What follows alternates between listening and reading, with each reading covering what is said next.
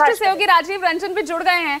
अब राजीव अब ऐसे में जो तमाम यहाँ पर बातचीत चल रही है मेहमानों से राजनीतिक मेहमानों से अभी वर्तमान स्थिति में देश का क्या माहौल है राजीव?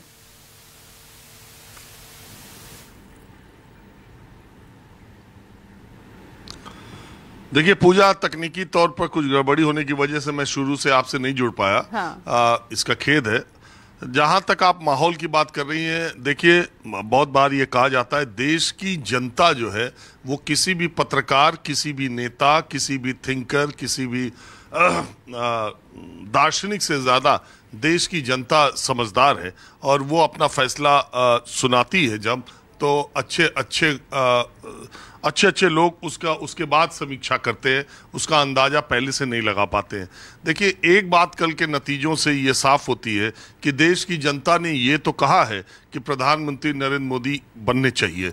लेकिन ये नहीं कहा है कि मोदी की सरकार मोदी की गारंटी उसे पसंद आई है। उसे एनडीए की सरकार चाहिए उसे भारतीय जनता पार्टी की सरकार चाहिए। मोदी की गारंटी मोदी की सरकार पर उसने ठप्पा नहीं लगाया।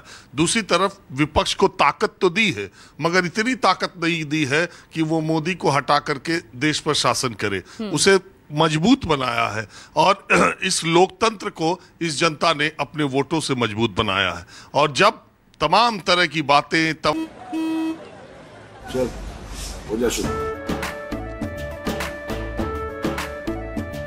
केसरिया से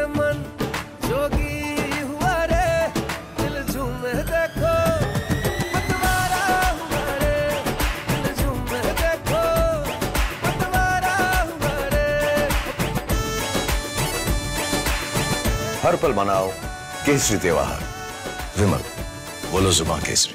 तमाम तरह की ये बातें हो रही थी कि संस्थाओं पर हमला हो रहा है, तानाशाही आ रही है देश में, तमाम चीज़ों पर बोलने पर रोक है तो तमाम तरह की बातें विपक्ष कर रहा था संविधान की रक्षा करना है।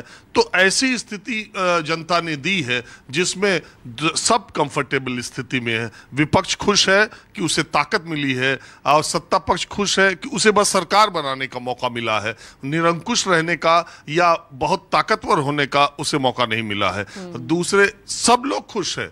ऐसा नतीजा आया, कल से आप व्हाट्सएप मैसेज भी देख रही होंगी लोगों ने बनाया। ऐसा नतीजा आया कि सब खुश है, लेकिन अगर इसके राजनीतिक अर्थ और मायने निकाले जाएँ तो मेरी समझ से इस पूरे चुनाव का man of the match Akhilesh Yadav बने हैं मुलायम सिंह यादव मुख्यमंत्री रहते 2004 में 34 सीटें उत्तर प्रदेश से जीतने में कामयाब हुए थे बहुत ज़्यादा विषम परिस्थितियों में, मैं कहूँगा प्रतिकूल परिस्थितियों में रहते हुए, अखिलेश यादव ने जातिगत समीकरण के आधार पर जो टिकटों का बंटवारा किया, मैं पहले से कह रहा था कि नतीजे 2019 से ज़्यादा नहीं हो सकते।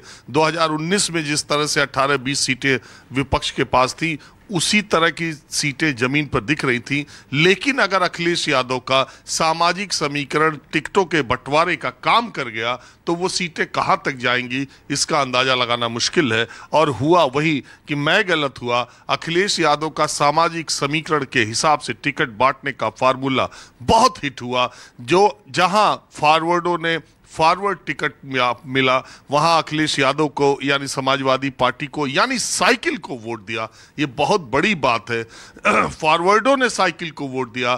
कुशवाहा ने जो पिछले चार चुनाव से बीजेपी को छोड़ के मौर्या कुशवाहा सैनी कहीं नहीं जा रहे थे कुशवाहा मौर्य सैनी ने आ, वो मौर्य ने वो अखिलेश यादव की साइकिल को वोट किया पासवान ने किया निषाद ने किया शाक्य ने किया मौर्या ने किया ये उनकी बहुत बड़ी उपलब्धि है। अखिलेश यादव को मैं मैन ऑफ़ द मैच कहूँगा इस पूरे चुनाव का। एम वाई समीकरण यानी मुस्लिम यादव की पार्टी कही जाने वाली समाजवादी पार्टी जो कि मेरे कई कार्यक्रम में आपने देखा भी होगा जब मैं लोगों से बात करता था तो हाँ। मुझे कई बार ये भ्रम होता था कि हर आदमी निखिल या मोदी का विरोध समाजवादी पार्टी की बात कर रहा है वो नब्बे फ़ीसदी लोग या तो यादव होते थे या मुसलमान होते थे मुझे भी ये लगता था कि यही आक्रामक है यही विरोध कर रहे हैं और इनके वोटों की वजह से इनके वोटों को पाकर अखिलेश यादव का आंकड़ा पंद्रह सत्रह से ऊपर नहीं जाता है लेकिन अखिलेश यादव ने सारी, सारे समीकरण ध्वस्त कर दिए और एक अकेला आदमी जिसने प्रधानमंत्री नरेंद्र मोदी को पूर्ण बहुमत से आने से रोका है, उनका नाम अखिलेश यादव है। और आज पूरा दिन है कि अखिलेश यादव को मैन ऑफ़ द मैच कहा जाए और ये कहा जाए कि उन्होंने वो सारे समीकरण तोड़ दिए और उत्तर प्रदेश, जहाँ भारतीय जनता पार्टी सबसे मज़बूत स्थिति में दिखाई दे रही थी, वहाँ उसे एक कमज़ोर और छोटी पार्टी के रूप में स्थापित कर दिया। तो ये अलग अलग और दूसरी बात, राजनीति में किसी को राइट ऑफ़ नहीं करना चाहिए पूजा।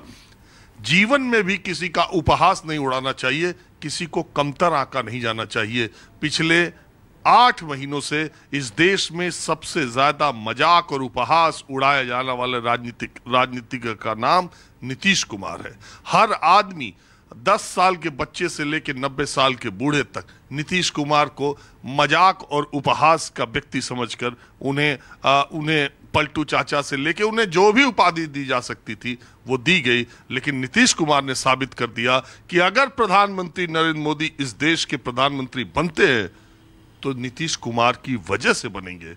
अगर नीतीश कुमार ने फिर पलटू चाचा वाला रोल निभाया तो प्रधानमंत्री नरेंद्र मोदी जैसा ताकतवर व्यक्ति बहुत कमज़ोर पड़ जाएगा। तो जनता ने नीतीश कुमार को वो ताकत दी है और राजनीति में वही आदमी हीरो होता है जिसे जनता ताकत देती है। नीतीश कुमार तमाम उपहास और मज़ाक उड़ाए जाने के बावजूद आज की तारीख में जब हम पाँच जून को बात कर रहे हैं, देश के सबसे मज़बूत राजनीतिज्ञ देश का सबसे ताकतवर पॉलिटिशियन अगर कोई है तो सिर्फ़ दो, एक चंद बाबू नायडू, एक नीतीश कुमार, और दोनों को एक समय में राइट ऑफ़ कर दिया गया था, दोनों का नाम मिटा दिया गया था, दोनों को उपहास का पात्र बनाया गया था, दोनों के वापस न आने की इबारत, दोनों के वो कहते हैं ना फातिहा पढ़ दिया गया था और दोनों आज इस ताकत में है कि वो डिसाइड करे कि देश पर शासन कौन करेगा और वो भी प्रधानमंत्री मोदी की आ, को भी वो तय कर सकते कि वो प्रधानमंत्री बने कि न बने। चार दिन में लोकतंत्र ने ऐसा खेल किया है। बिल्कुल और अगले दो दिन बहुत इंपॉर्टेंट इस बीच आज ये बैठकों का दौर भी जारी रहेगा।